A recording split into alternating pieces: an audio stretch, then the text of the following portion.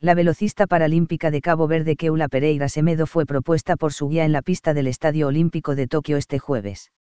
La original propuesta tuvo lugar al final de la carrera de 200 metros y en presencia de sus compañeros.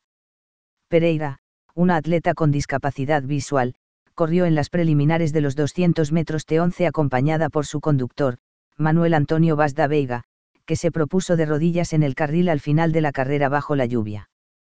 Tengo tantas emociones en este momento. No hay palabras para explicar lo que siento, dijo Pereira a los medios de comunicación tras aceptar la propuesta y a pesar de no haberse clasificado para la final de 200. Eran mis primeros Juegos Paralímpicos y, con mi edad y mis notas, pensé en abandonar. Pero ahora tengo una motivación extra para seguir adelante después de estos Juegos, teniéndolo siempre a mi lado. Dijo la caboverdiana de 32 años, que terminó cuarta en su carrera. Su conductor lleva años planeando este momento y eligió el día de la competición y el Estadio Olímpico como el mejor lugar para hacerlo, dijo. La pista es como un segundo hogar para un atleta, dijo Bass, quien también señaló que ambos mantienen una relación desde hace 11 años. Supuse que era el momento de pedir matrimonio, así que ¿por qué no hacerlo aquí? explicó.